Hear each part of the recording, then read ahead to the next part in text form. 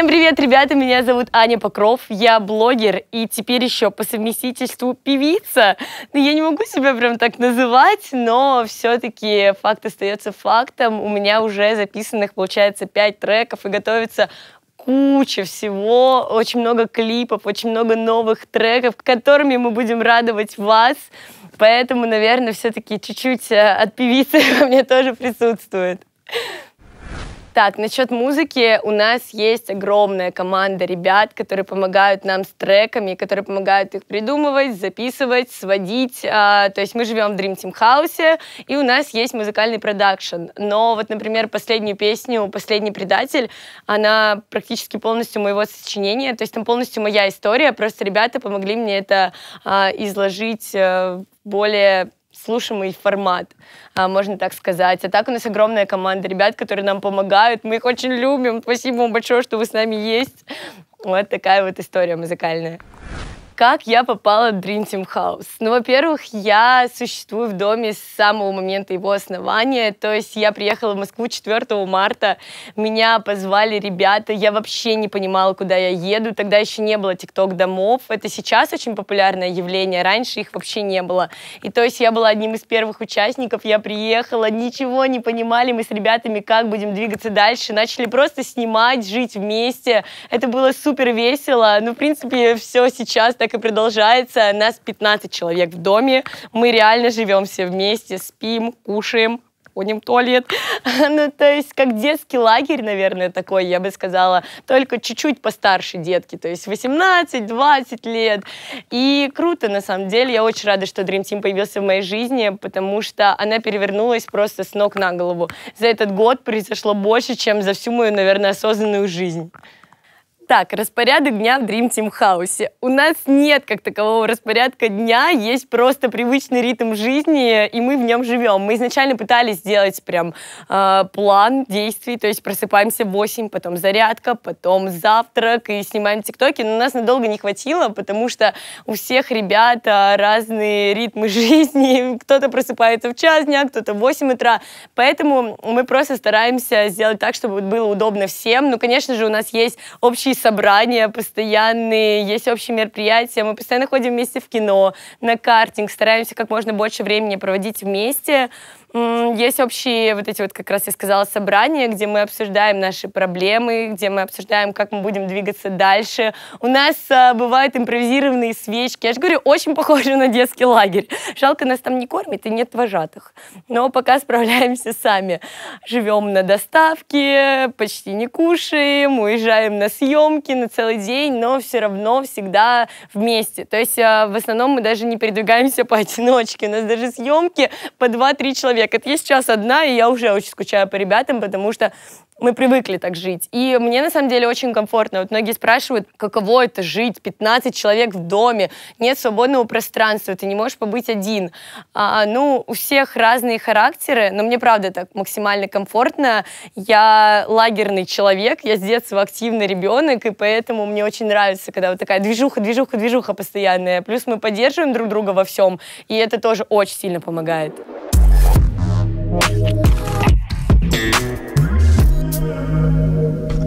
Так, современная музыка. Современная музыка — это то, что сейчас кардинально отличается даже от того, что было пять лет назад, потому что к нам пришел Моргенштерн, который разорвал все чарты, а, к нам пришли ребята-рэперы. В основном, да, это рэп. Сейчас еще ТикТок заполняет музыкальную индустрию. Я же перед вами сижу сейчас. А, потому что ТикТок просто взорвал, и э, очень многие ребята, блогеры поняли, что музыка — это круто, а, что музыка дает э, еще и дополнительный какой-то прорыв, популярность, и все запели.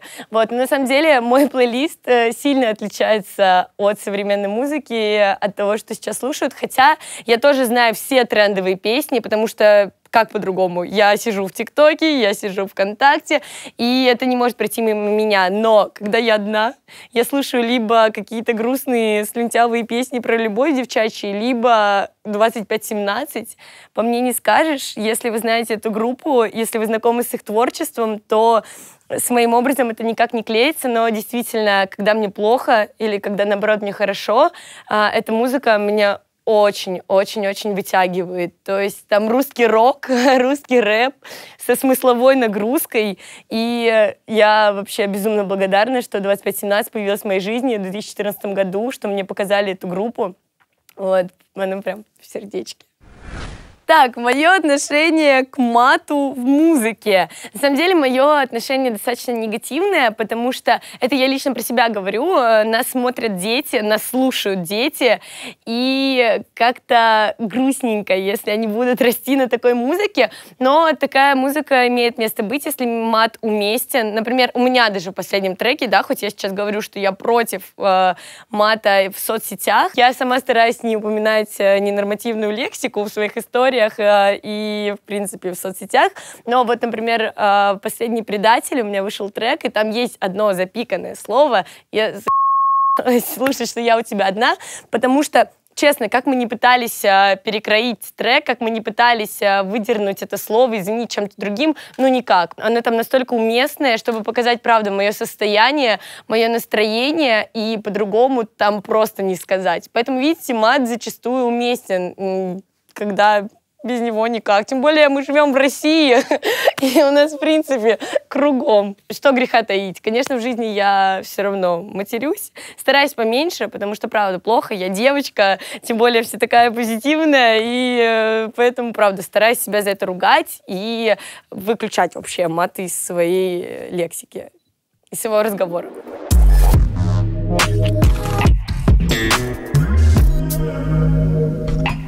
Главные испытания, которые стоят на пути у артиста, наверное, для меня лично, что я сейчас заметила, чего я даже побаиваюсь немножечко, что наша жизнь, она полностью публичная. То есть, когда ты становишься популярным, ты забываешь э, про свою личную жизнь, ты постоянно на виду, тебя постоянно обсуждают, все твои высказывания, все твои действия. Иногда становится реально страшно, потому что ты не можешь пойти погулять э, в тайне ото всех, тебя по-любому найдут подписчики, сфоткают вот так вот из-за угла. Не делайте, кстати, так, это очень плохо. Лучше подойдите лично, пообщаемся, сфотографируемся, чем когда вы в крысу фоткаете из-за угла.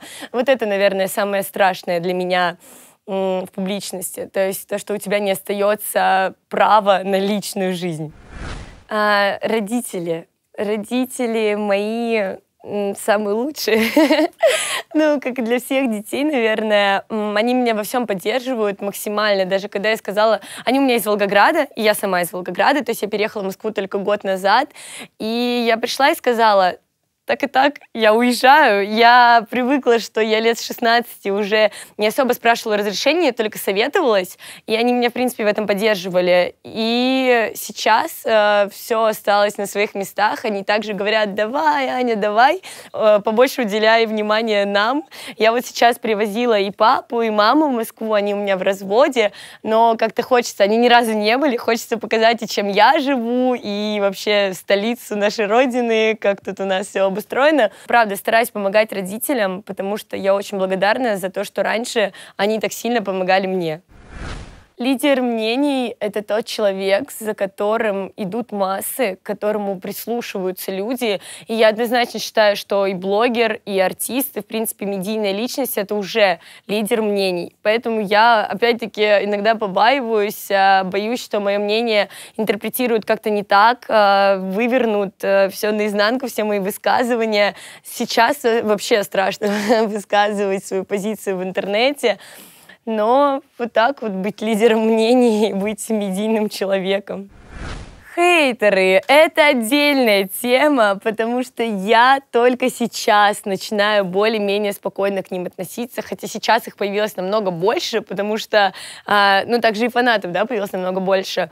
Честно, мне тяжело, потому что я маленькая девочка из Волгограда, которую просто выдернули, сразу запихнули в этот большой мир, и я достаточно ранимый человек, но как мне недавно сказали одну фразу, и она мне очень сильно запомнилась, что хейтер — это человек, который действительно тебя намного больше любит, даже чем твой самый преданный фанат. Он следит э, за тобой и, возможно, даже хотел бы общаться и поддерживать, просто ну, вот как-то не склеилось.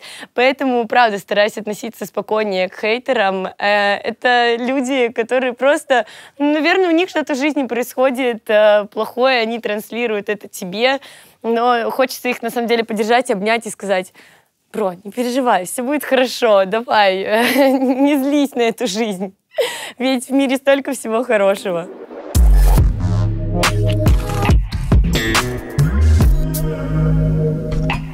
А образование — это тоже очень спорный вопрос. И я до сих пор учусь в институте, я заканчиваю четвертый курс. Я не захотела бросать, потому что мне было очень обидно. Я столько времени потратила на это. Но на самом деле сейчас в современном мире спокойно можно выжить без высшего образования, но если ты сам себя что-то представляешь, если ты умеешь крутиться в этом мире, Поэтому я не скажу, что образование — это какая-то ерунда, лучше пойти в блогера и э, развиваться и зарабатывать кучу денег. Нет. У кого-то получается, у кого-то не получается. Поэтому э, я считаю, что учиться, учиться, еще раз учиться, даже если и не в институте, да, и не в школе, то заниматься каким-то саморазвитием. Я учусь в Волгоградском государственном институте искусства и культуры. Это единственный творческий вуз а, в нашем городе. Я изначально, когда заканчивала школу, понимала, что мне не подойдет ни одна из а, серьезных профессий, так сказать. То есть э, бухгалтер, учитель, менеджер, это все точно не про меня, я не смогу. Мне будет скучно, и это однозначно не мое. Поэтому я сразу знала, что моя жизнь будет связана с творчеством, и пошла учиться на режиссуру. Но режиссура не кино и телевидение, да, а режиссура театрализованных представлений и праздников. Мне очень нравилось, это очень круто. Сейчас просто у нас уже дистанционка идет, поэтому я не могу сказать, что у нас сейчас полноценное обучение но а, в любом случае я очень рада, что я попала туда. Все равно а, это, во-первых, было безумно весело. Наши все показы с ребятами, наши занятия и актерским мастерством, и сцены речью. Сейчас, тем более, в моей жизни это вообще огромный плюс, что у меня была хоть какая-то школа изначально. Вот, поэтому мне нравится мой институт. Я рада, что я пошла в творческую специальность, потому что в другой я бы точно не выдержала, забрала документы и такая убежала бы оттуда. Так, я действительно заполонила собой все соцсети, но если говорить о любимых, то, конечно же, меня все ассоциируют с ТикТоком, потому что я стала популярной, наверное, в большей степени из-за него. Но, как ни странно, моя любимая соцсеть — это Инстаграм, и я на самом деле уделяю намного больше времени Инстаграму. Я веду истории 24 на 7, я стараюсь делать какие-то интересные фотосеты, я реально общаюсь со своими подписчиками, особенно со своими фанами. У нас даже есть группы, которых я стараюсь, правда, отвечать. Я понимаю, как для них это важно, и как они этому радуются. Сейчас еще появился YouTube, YouTube это уже такое посерьезнее. А, нужно уделять намного больше времени, намного больше подготовки.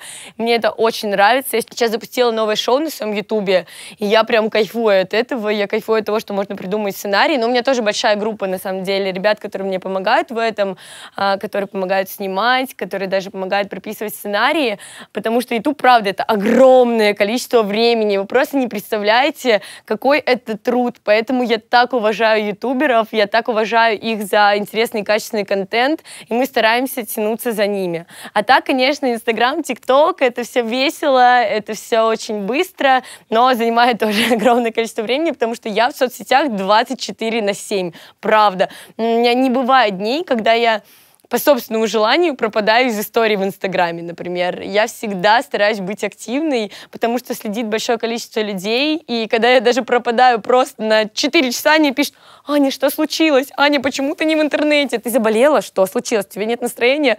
Ну, я чувствую ответственность, и поэтому постоянно снимаю, снимаю, снимаю самое необычное, что мне писали в директ. Но в основном мне на самом деле пишут слова поддержки постоянно, типа, о, спасибо за то, что ты есть, спасибо за то, что ты радуешь нас своими историями. А, вот, как я уже сказала, я общаюсь со своими фан-аккаунтами. И самое странное, наверное, для меня, это когда фаны а, мои солнышки, которые там Аня Покров, Антигрустина, Авокадо, они начинают очень сильно обижаться, когда ты не уделяешь им достаточное количество внимания, когда они скидывают тебе пост, ты не поставил лайк, а, и они прям такие типа а, ты нас не любишь, а на самом деле у тебя просто нет столько времени, чтобы 24 на 7 общаться с ними. А самое странное, это когда присылают вот эти вот неприличные половые органы, ну, как бы я девочка, и это происходит постоянно. Это ужасно, честно. Я такие сообщения сразу вот так вот в блог. Ну, или когда пишут, давай познакомимся, красотка. Ну, правда, вы до сих пор думаете, что если вы напишете в инстаграмчике «Эй, детка, твоей маме взять не нужен», то девчонка реально такая «Нужен, пойдем на свиданку». Пацаны, что у вас в голове, когда вы это пишете?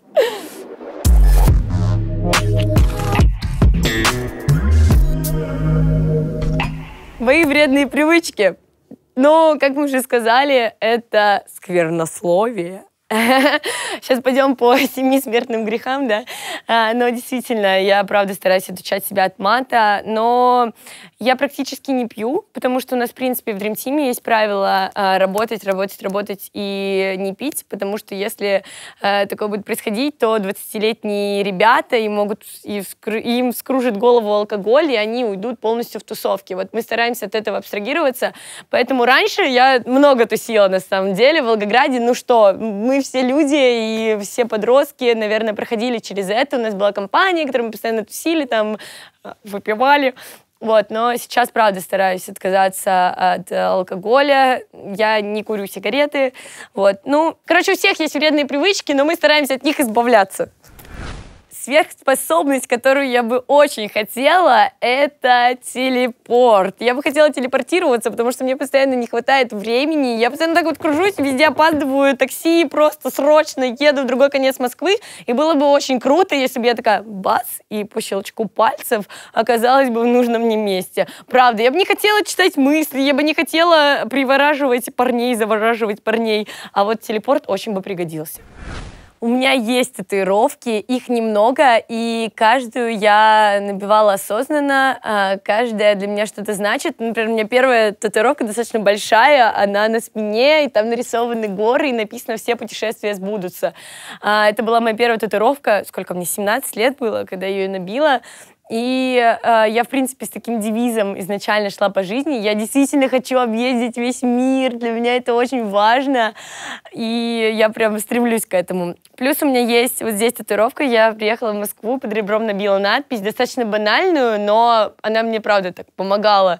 А, то есть ты все сможешь, там написано. И я иногда, когда начинаю загоняться, я такая смотрю под ребро и такая, Действительно, я все смогу.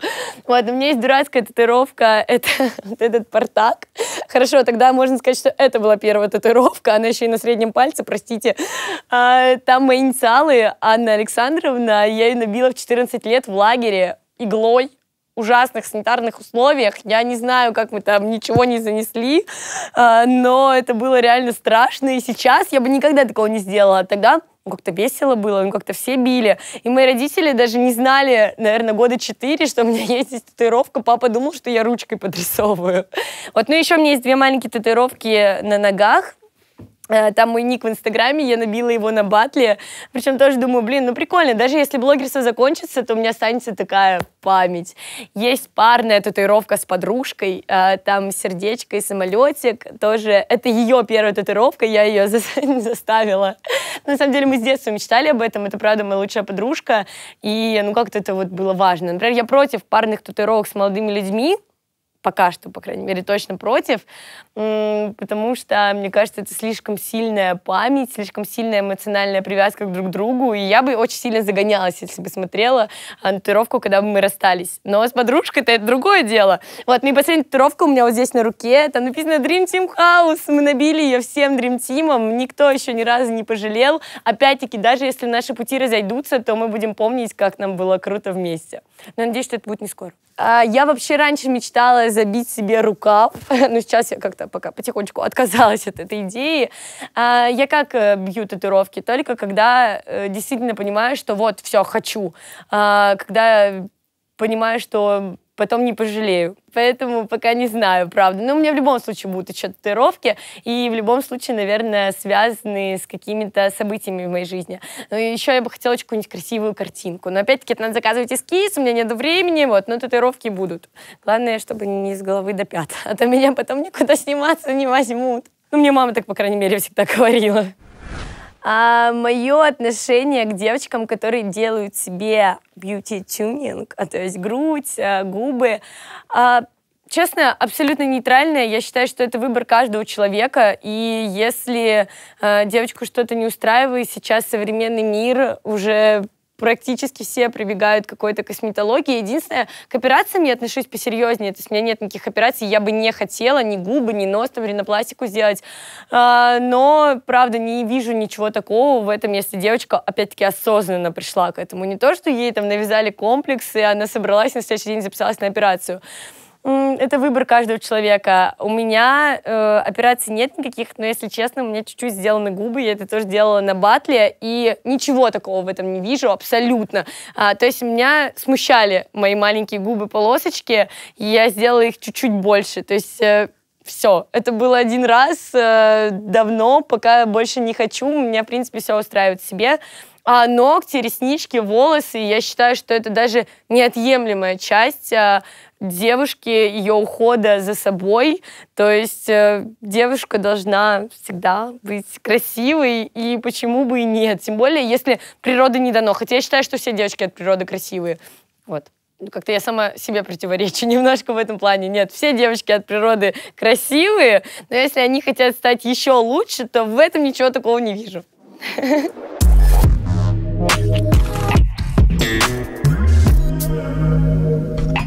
Ой, а, я, наверное, не сильно влюбчивая девочка. То есть не было никогда у меня такого, что каждый месяц я приходила к подружкам и говорила, я просто втюрилась а, в мальчика-одноклассника. Нет, у меня, в принципе, было два молодых человека, ну, то есть э, прям отношений. И, в принципе, все они длились достаточно долго. То, что сейчас в моей личной жизни происходит, э, давайте не будем об этом говорить.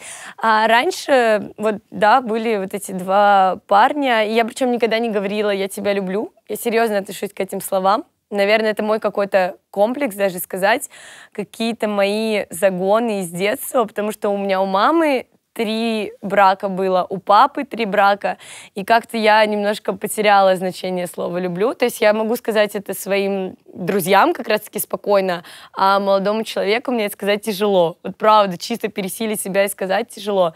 Но, наверное, это пройдет. С возрастом пройдет, с опытом.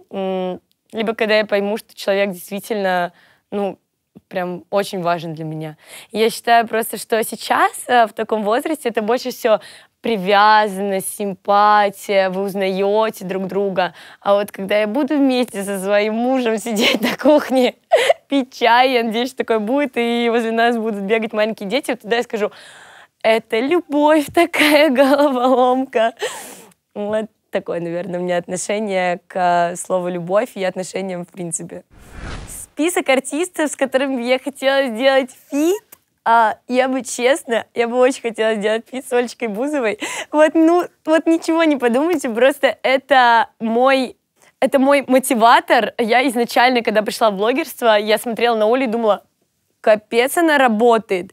То есть нам может не нравиться ее музыкальная программа, но э, как человек, и, кстати, песни Оли мне тоже нравятся, я считаю, что это гениально. Если человек не умеет даже петь, а делает хиты, которые слушают потом огромное количество людей, то э, это очень круто. Значит, она настолько харизматичная, значит, она настолько работоспособная, что она заткнула всех супер поющих музыкантов, которые вышли с голоса.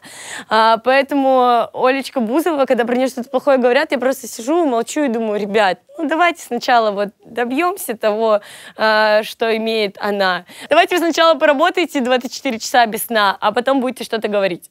Вот. Но из таких артистов еще я вот очень хорошо общаюсь с Димой Биланом, я бы тоже хотела с ним фит. А, а так пока, честно, не знаю. Это же все приходит с общением, когда вы лично знакомитесь, когда вы понимаете, что «О, круто! Круто бы сделать э, вот такой вот трек», когда вы понимаете, зачем. А не фит ради фита все равно, а когда вы ну, как-то прям горите этим, когда вы хотите это сделать.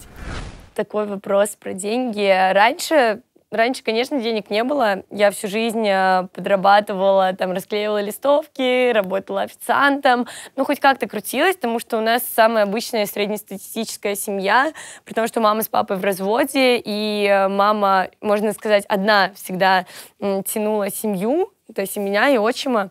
Вот, поэтому я изначально сразу пыталась э, найти где-то подработки, чтобы хоть какая-то копеечка была. Плюс у меня есть такой, э, я не знаю, сказать это хорошим качеством или плохим, но я постоянно коплю, даже сейчас.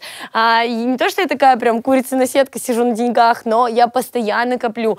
А, в какой-то степени это правда хорошо, что я не транжирю их направо и налево, но сейчас я стараюсь спокойнее относиться к деньгам, а, понимать, что они как приходят, так и уходят, а, что еще заработаю спокойно, а, не обязательно сейчас сидеть с ними, потому что тогда никаких радостей жизни не будет.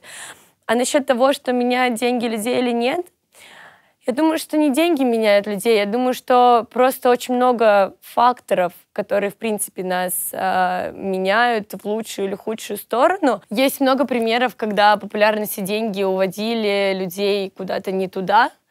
А, но тут либо ты сам справляешься с этим и справляешься со звездной болезнью и так далее, а, либо просто такой исход. То есть нельзя сказать, что деньги меняют людей. Есть много факторов, которые меняют судьбы людей. Честно, а, из-за того, что раньше денег не было, наверное, в Волгограде мне было бы достаточно и 10, и 20 тысяч рублей спокойно, а, чтобы жить, пить кофе.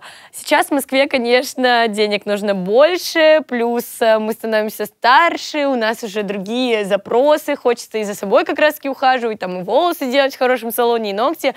Поэтому сейчас, конечно, денег тратится больше, но нет такой суммы, чтобы я сказала, вот столько мне в месяц достаточно. Я могу э, прожить э, месяц, если прижмет на маленькое количество денежных средств. Но, конечно, чем больше, тем лучше, что мы девочки, да и мальчикам, в принципе, лол.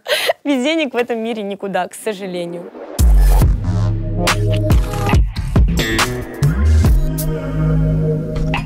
Дружба в шоу-бизнесе это тоже такой очень сложный, можно сказать, вопрос.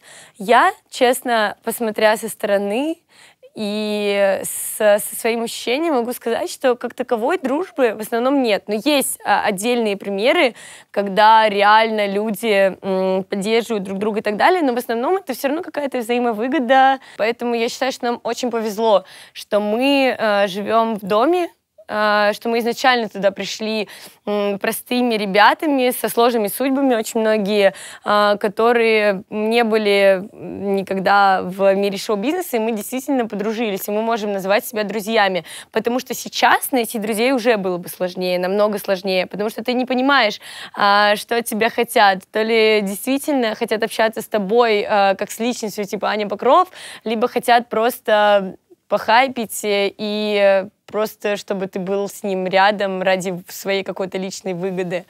Вот. Но, правда, есть отдельные примеры, когда дружба действительно существует. Но, наверное, когда она уже давно и проверена годами и временем. Так в основном все приходят на совки и такие...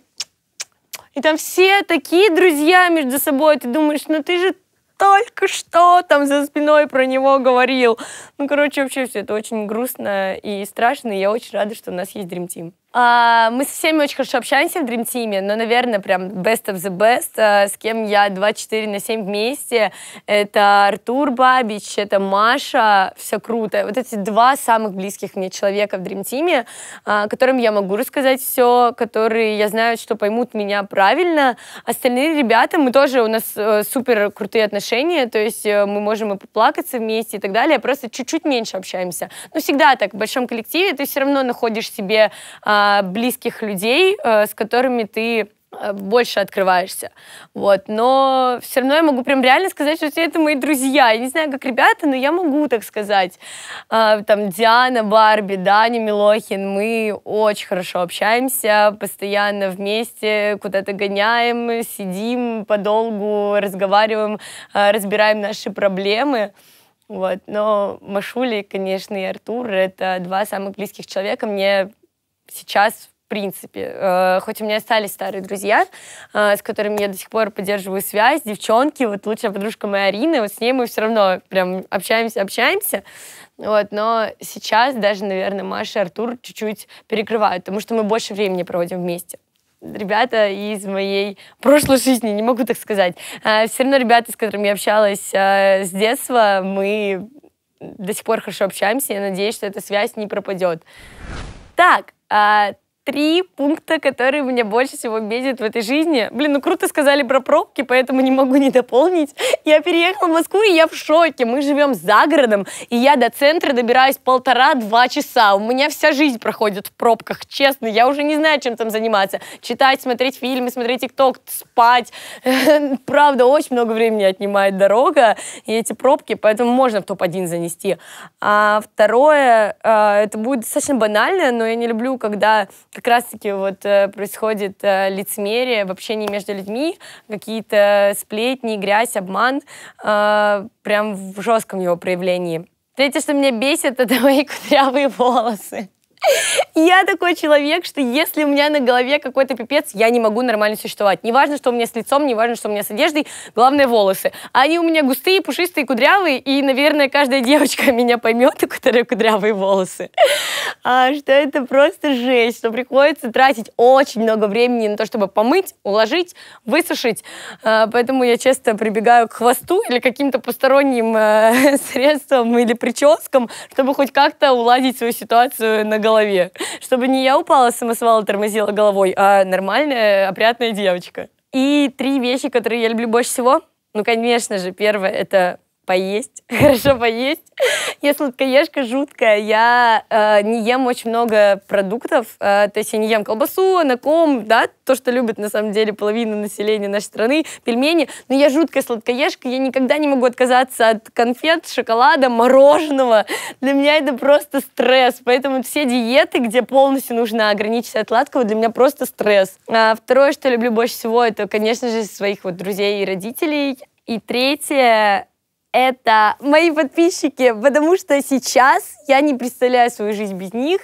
И это те люди, которые меня очень сильно мотивируют. Это те люди, для которых хочется что-то делать. Я всегда мечтала с детства мечтала стать популярной. Я не знаю, какими, э, не знала, какими способами этого добиться, этого достичь. Просто жизнь меня сама, по сути, к этому привела.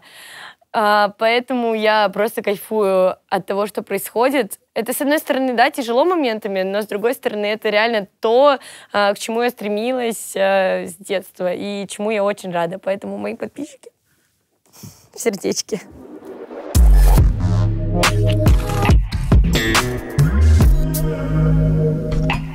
Аня Покров через 10 лет — это самая популярная девочка этой страны. Но я всегда так себе говорю. Я действительно мечтаю даже о том, чтобы меня знала не то, что вся Россия, да, а там где-то весь мир за границей. Но это, конечно, уже посложнее. Для начала нужно сделать так, чтобы меня знали дети, мамы и бабушки нашей страны. А, ну, папа и братья, конечно же, тоже все, э, все вместе взятое. Я правда верю в то, что м- не остановлюсь. И вы правда услышите обо мне через 10 лет. А прям загадывать, а, вот, э, что я стою в крутой тачке, я так не люблю. Я просто знаю, что я не остановлюсь, и через 10 лет у меня будет намного больше, чем сейчас.